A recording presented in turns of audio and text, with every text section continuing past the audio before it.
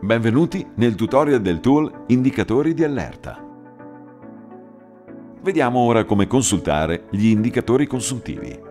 Dopo aver caricato un bilancio dell'azienda in analisi, in questo caso il 2018, passiamo alla sezione Indicatori consuntivi.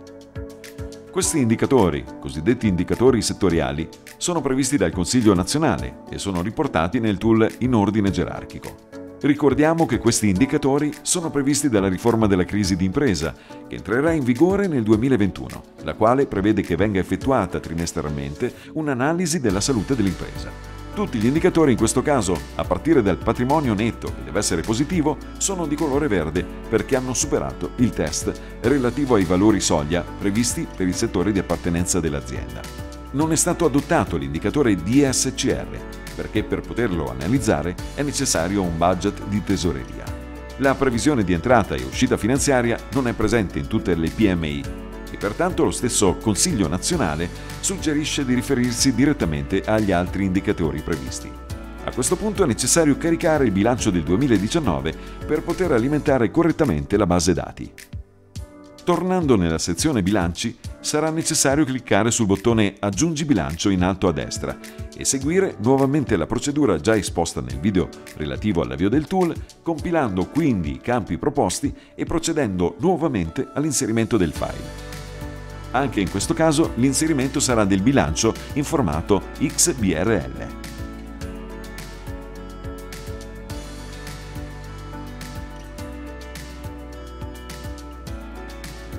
Avendo ora a disposizione due esercizi storici in linea, potremo consultare, oltre agli indicatori consuntivi, anche gli altri indicatori entrando nella sezione apposita presente nel menu.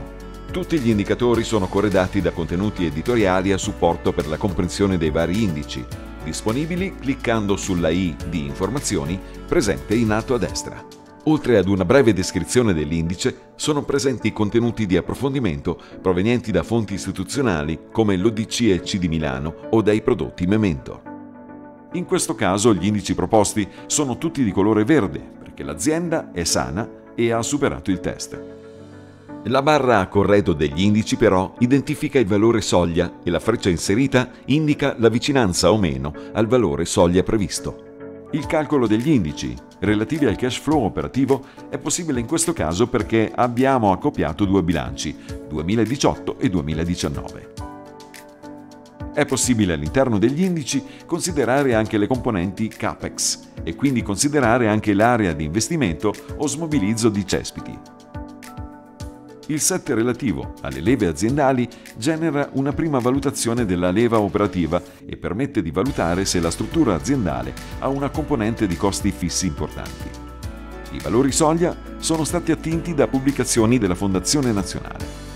La leva operativa mette in relazione il valore aggiunto con il valore relativo al personale dipendente. Il set relativo al break even point evidenzia il margine di sicurezza, ovvero la differenza tra i ricavi effettivi e il ricavo di equilibrio. La sezione relativa agli indici statistici di previsioni insolvenze propone tre score diversi. Lo Z-score di Altman, Low score di Olson e il Zmieski score. Sono indici scientificamente avvalorati, per i quali è presente molta letteratura e sono volti a prevedere segnali previsionali di insolvenza.